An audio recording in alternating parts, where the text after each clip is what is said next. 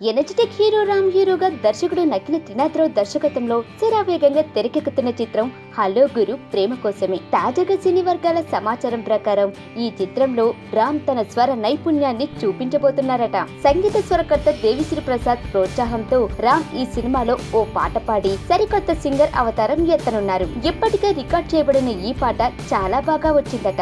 మంచి లవ్ సబ్జెక్ట్తో ఎంటర్టైనర్గా సాగనున్న ఈ చిత్రంలో రామ్ కొత్తగా కనిపించనున్నారని తన కామెడీ టైమింగ్ దగ్గర నుంచి తన మాడ్యులేషన్ వరకు ఎంతో కేర్ తీసుకుని మరీ ఈ చిత్రంలో రామ్ కొత్తగా ట్రై చేస్తున్నారని తెలిసింది. కాగా సినిమా చూపిస్తా మామ నేను లోకల్ లాంటి సక్సెస్ఫుల్ చిత్రాలకు పనిచేసిన టీం. ఈ చిత్రానికి కూడా కలిసి పనిచేయటంతో ఈ చిత్రంపై ప్రేక్షకుల్లో కూడా మంచి బజ్ ఉంది. రామ్ సరసన ఈ చిత్రంలో అనుపమ పరమేశ్వరన్ హీరోయిన్గా నటిస్తుంది. అలాగే ప్రణీత సుభాష్ మరో హీరోయిన్గా కనిపించనుంది. ప్రకాష్ రాజ్ కూడా ఇందులో కీలక పాత్ర పోషిస్తున్నారు. దేవిశ్రీ ప్రసాద్ సంగీతం సమకూరుస్తున్న ఈ చిత్రాన్ని శ్రీ వెంకటేశ్వర క్రియేషన్స్ పతాకంపై ప్రముఖ నిర్మాత దిల్ రాజు నిర్మిస్తున్నారు. ఈ ఎంటర్టైన్ ఎంటర్టైనర్ను దసరా కానుకగా అక్టోబర్ పద్దెనిమిదిన ప్రేక్షకుల ముందుకు తీసుకురానున్నారు.